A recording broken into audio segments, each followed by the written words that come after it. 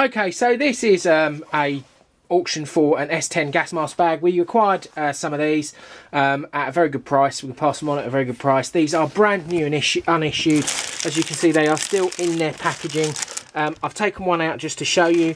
Um, they are the designed for the S10 gas mask but they are a really practical little bag for anything like fishing, uh, camping, hiking.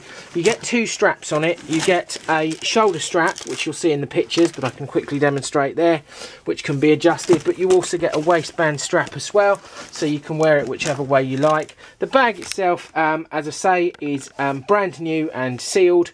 Inside the bag there are a load of extra pockets apologies for thing is I don't know whether you can see that if I tip it to the light you can just about see it. There's extra pockets at the side. There's even a, um, a place to hold sort of gloves at the top.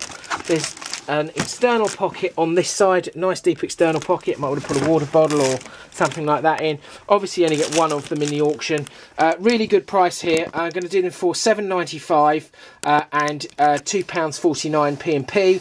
Um, we'll send them out as quick as we can. Um, they are um, sent out by second class mail though, so you're looking at two to three days for delivery.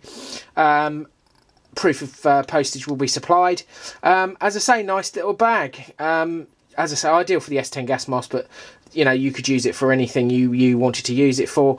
Uh, so uh, bargain at seven pounds ninety five. Uh, £2.49 P&P S10 gas mask bag, uh, brand new and sealed.